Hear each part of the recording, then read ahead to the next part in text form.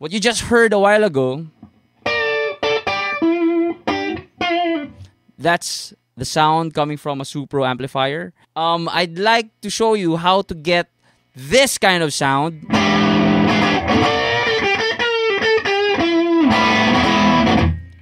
With a relatively cheaper amplifier. Enter the RJ GX100R. So I'm plugged in at input 1, which is the high input. I have presetted the uh, equalization to match the Supros earlier.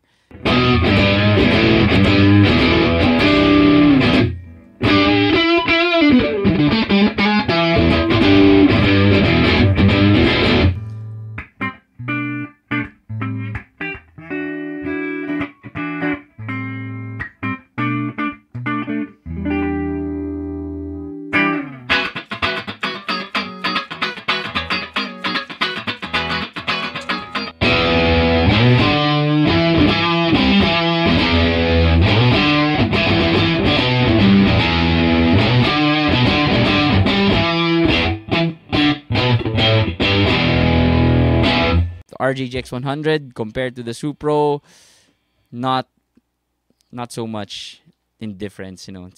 This uh, Marco Roboto for Gear Guide, and I hope you like that that demonstration of the RJ amp.